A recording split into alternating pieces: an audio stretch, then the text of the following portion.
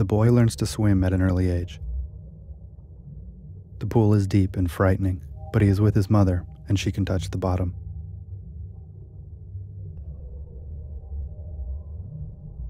The boy spends much of his youth in the water with his mother. She calls this time therapy, which means playtime and fun.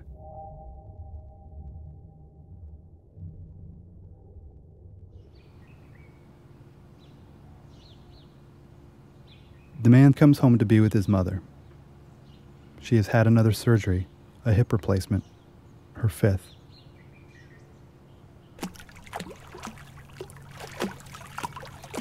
She is fighting a staph infection. If the virus resurfaces, doctors will remove her new hip and she will not walk again.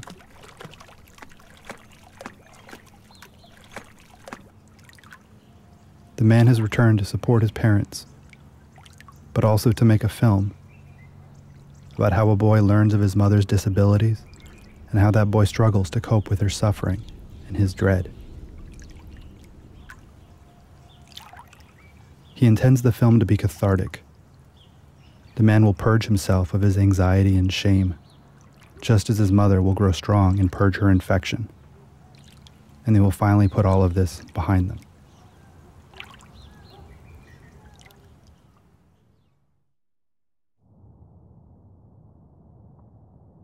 The boy's first chore is to put his mother's socks and shoes on. Socks need to be right side out, but can go on either foot. Shoes have a right and a left. The heavy shoe always goes on the left foot. The boy notices that his friends' mothers have heels on both shoes. But those mothers don't have the toys that his mother has. Her closet is full of shining swords, suits of armor, stainless steel knives. The boy is a hunter of man eating crocodiles. He is an explorer of steaming jungles. His mother explains that the toys are for her disability, that some were actually inside her body. When the boy shows his friends the closet, he tells them she is bulletproof.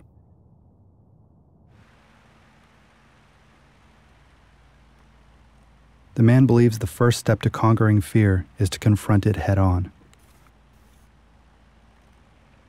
He is looking closely at what he used to avoid. He is learning the things he didn't want to know about as a child. He is present. He is listening. He will not look away.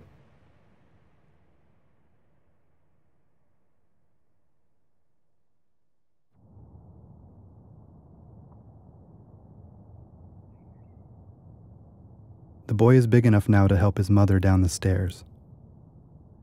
She walks slowly and grips his shoulder. Halfway down the first flight, she takes a step, a step like any other, and her hand squeezes him hard. She opens her mouth wide, and for a moment, nothing happens. When she screams, the boy's body grows cold and wet. His stomach starts to hurt. His mother catches her breath and smiles at him. She tells him, It's okay. I'm okay.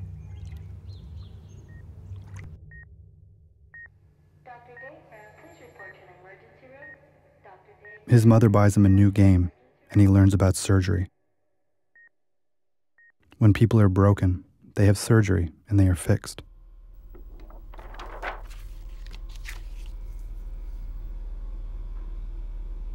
His parents show him see through pictures of how the doctors fixed his mother.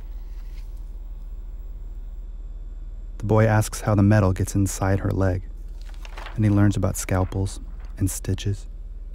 He learns that the rivers in her flesh are scars. The bumps were once thread and staples.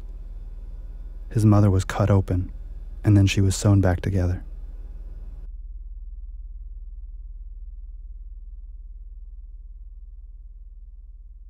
The more the man looks at what scares him, the less power it has. His mother tells him the story behind each of her scars 27 stories written into flesh. The man runs his finger along the jagged creases. The texture makes him nauseous at first, but it passes. He listens to his mother, and her skin becomes familiar beneath his fingers.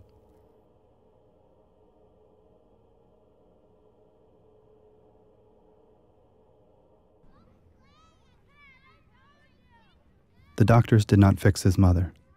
She is still falling down. The boy listens to her footsteps on the floor above him. He keeps track of her in the house. One day he hears screaming in the backyard and runs to the source. The boy's heart is hammering in his chest. It is a crow in a tree.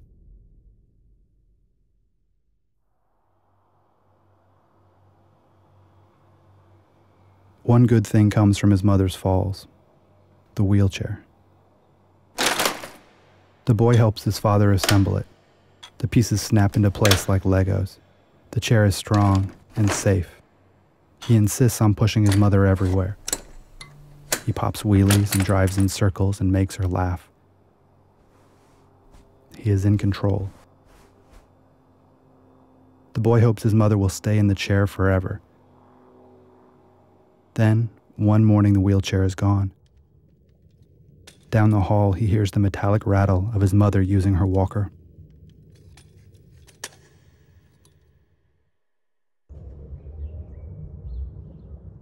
The boy is holding his breath. His mother is walking now, but she will fall again. She cannot be fixed, but she won't stay in the chair. His stomach hurts, and it is her fault. She is careless and clumsy and weak. Her body is ugly. There is something in his stomach. He is sure of it. He holds his breath.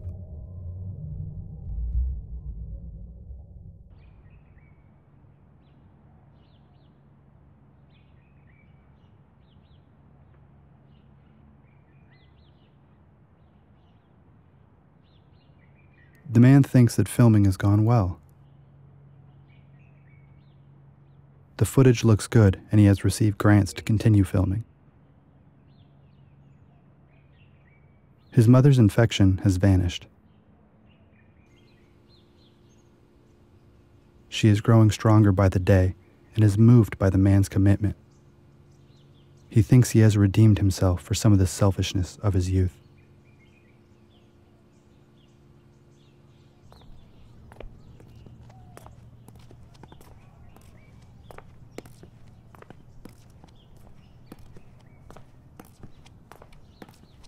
Mother is preparing dinner in the kitchen.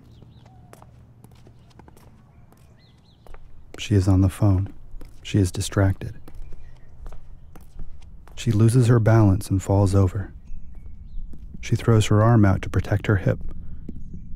The impact of the fall shatters the bones in her shoulder socket. She lands on the hip anyway and breaks the repaired femur.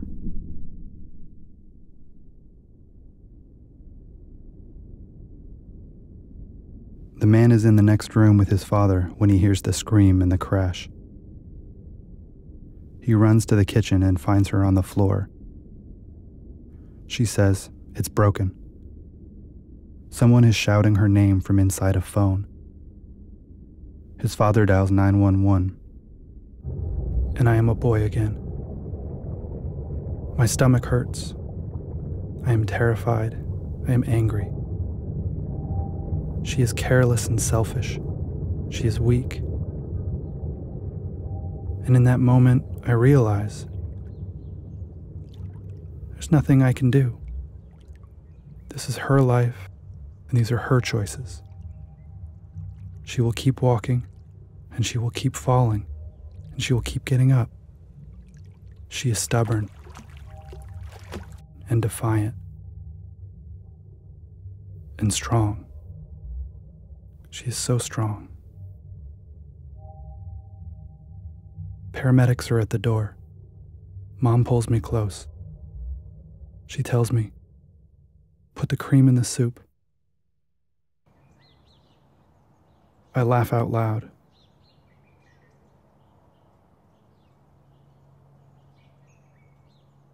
I slip her shoe back on, and they take my mother away.